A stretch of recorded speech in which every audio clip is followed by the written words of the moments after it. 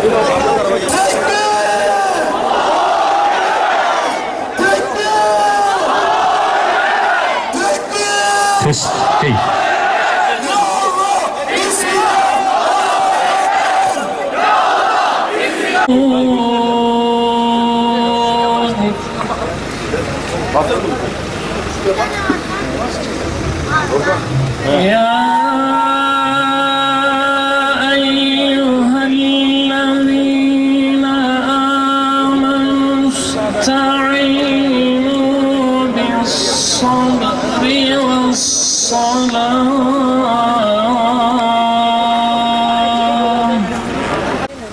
Dünyada Kur'ansız, ahirette imansız bırakma bizleri.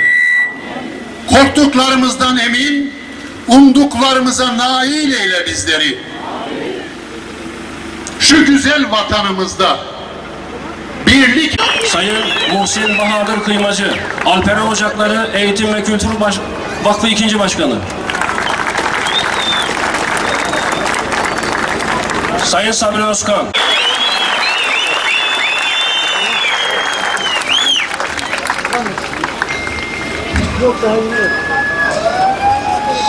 Bak büyüdüm baba. Küçükken bilmiyordum ama ölüm ne demek öğrendim. Şehit ne demek öğrendim artık. Gururla, onurla her zaman haykırarak söylüyorum. Ben şehit kızıyım. Kardeşim de büyüdü, üç yaşına geldi. Resimlerde anlattım seni. Hatırlamıyor belki ama seni çok seviyor baba. Annem evimizin koca çınarı derdi sana. Şimdi o çınar toprak altında. Kardeşim ellerini açıp sana kardeşime de ben öğrettim baba. Sana sitem etmiyorum ama bizi yetim bırakanlara kızıyorum baba. Ha unutmadan meleklere söyle ne olur çocukları babasız bırakmasınlar. Sen neredesin neredesin baba? Kardeşime belli etmedim ama seni çok özledim baba. Kardeşim de gözlerin emrisi seni aradı sanki oda oda. Sonra köşeye geçti. Cenazende taşınan üniformanın resmini eline aldı. Baktı, baktı. Resmin de olsa seni ilk defa öptü baba. Annemin hadi sofraya çocuklar demesiyle irkildik. İlk senin oturmanı beklerdik ya. Bugün sensiz oturduk sofraya. Sensiz de yaşamayı öğrendik. Sensiz de olsa hainlere sesim daha gür çıkar baba. Annem kardeşimle bana sarıldı. Kokladı. Senin kokunu aradı aslında. Yutkunarak şehidimin yadigarları. Yavrularım dedi. Öptü, kokladı, içine ağladı. Şehit oldum babam. Üzülmeyin abiler. Üzülmeyin kardeşler. Üzülmeyin analar. Eğmedi başına haine. Dalgalansın yine şanlı bayrağımız. Susturulmasın ezan. Ey korkaklar. Bilin ki zalimin gülmesi sonsuz değil. Gururla, onurla her zaman haykırarak söylüyorum. Ben şehit kızıyım. Ne mutlu Türk'üm diyene.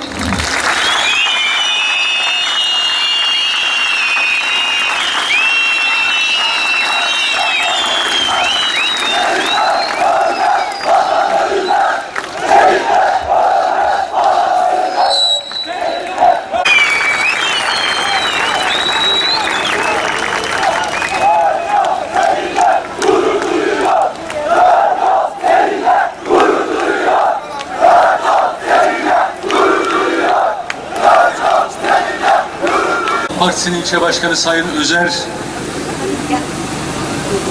Gökçeoğlu Bey'e Adalet ve Kalkınma Partisi'nin ilçe başkanı Hasan Bey, onun yardımcısı Ömer Seçer Bey'e Doğru Yol Partisi'nin öyle söyleyin ilçe başkanına ve diğer siyasi partilerimizin ilçe başkanlarına katkılarından dolayı teşekkür ediyorum. Ve onların şahsında da sizin gibi sizlere layık olmaya çalışıyoruz. Sizlerin hizmetinde ve hizmetkar olmaktan da her zaman onur duyuyoruz. Çok saygıdeğer hemşerilerim, kardeşler arasında ve bin yıllık kardeşliğimize gölge düşürecek ve fitne sokulmasına müsaade etmeyeceğiz, izin vermeyeceğiz. Bu zor günlerde omuz omuza vermeliyiz. Birliğimizi, beraberliğimizi en üst seviyede göstermek mecburiyetindeyiz.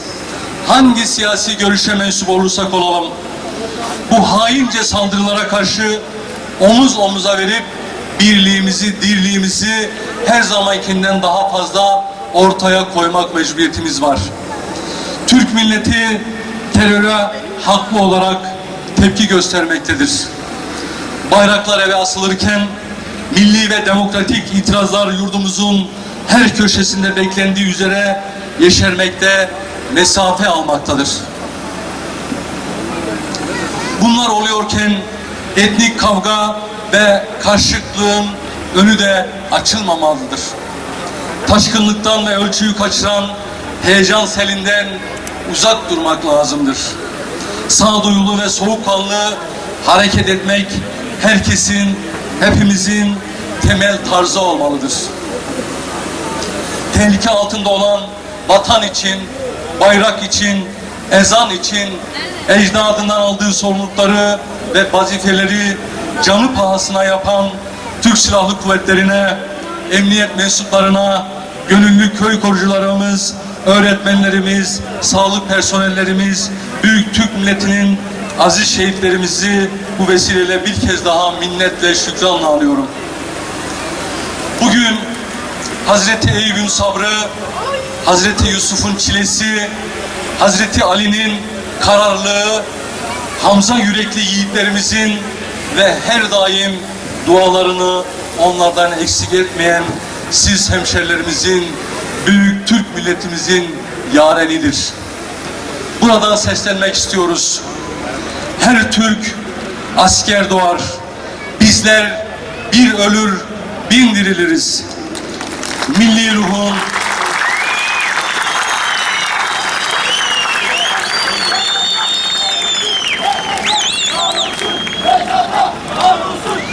milli ruhu şahlandığı şehir olan bu Türkmen şehri dört yolumuzdan bugün siz hemşerilerimiz binlerce yürek cinayet şebekesi terör örgütünü lanetlemek